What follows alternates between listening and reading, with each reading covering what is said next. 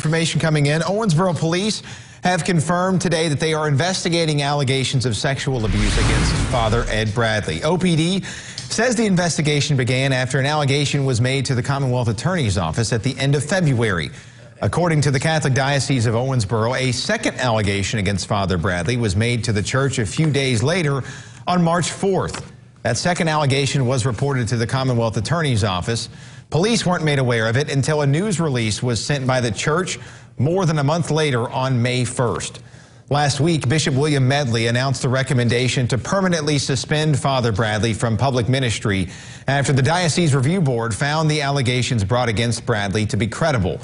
Both of those allegations stem from the 1980s, and the Vatican will ultimately make that decision.